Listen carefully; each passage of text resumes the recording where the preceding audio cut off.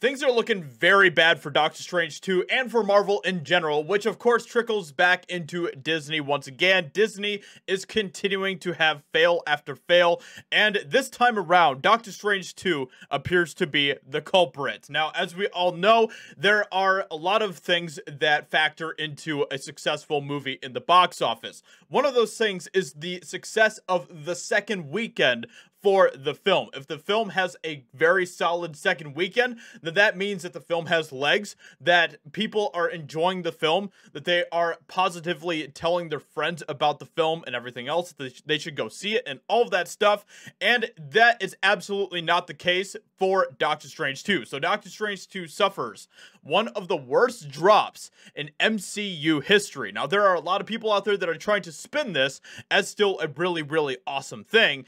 Uh, you know, but the, the the fact of the matter is, I mean, there's there's a lot of people out there that are pushing the narrative right now that Doctor Strange 2 is still number one in its second weekend. Well, yeah, it's very you know, it's very easy for it to be number one when there are no other major releases coming out this week or this past weekend.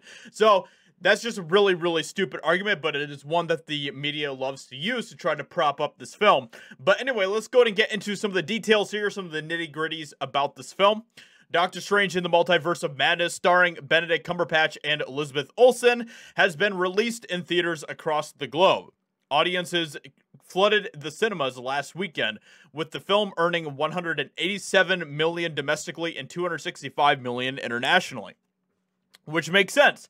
A lot of people were interested to see where they were going to go. I think a lot of people were tricked by Marvel and Disney into thinking that this was a kind of a sequel of sorts to Spider-Man No Way Home, which it absolutely was not. Okay, this film is not that at all. That is what I was hoping this film was going to be. This is what they showed the film as being in the trailers, but it wasn't that at all. This film is more of a sequel to WandaVision, and it is absolutely Wanda's film. This is not a Doctor Strange film. And that is one of the biggest heinous things about this entire film.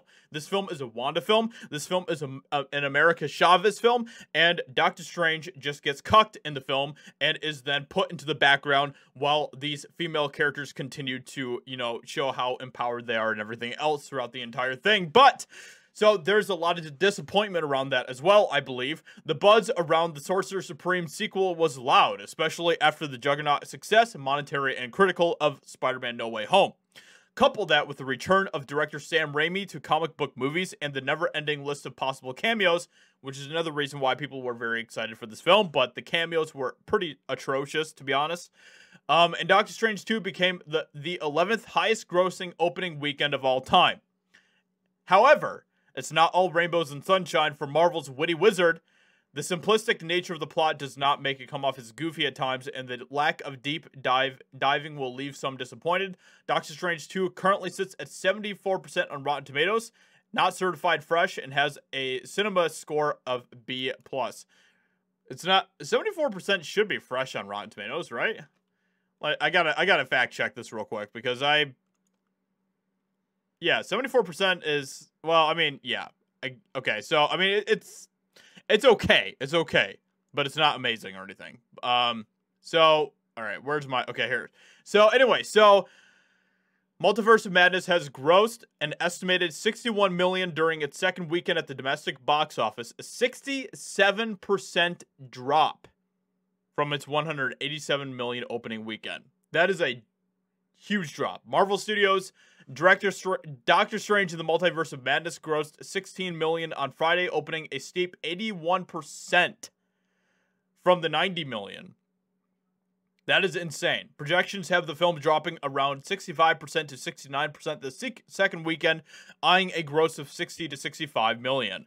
Back in December, Spider-Man No Way Home suffered an incredibly steep drop during its second Friday, 83%, but it was during Christmas Eve. That Friday drop didn't seem to factor in much as Tom Holland's third Spidey flick in the third highest grossing movie of all time at the domestic box office.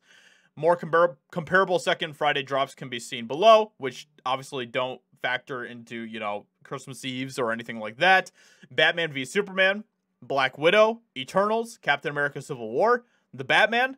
So do does Multiverse of Madness have legs? Current projections have Multiverse of Madness totaling its domestic run between 380 to 405 million. A wide range, so let's narrow that down. So anyway, so this doesn't mean that the film isn't going to be successful, okay?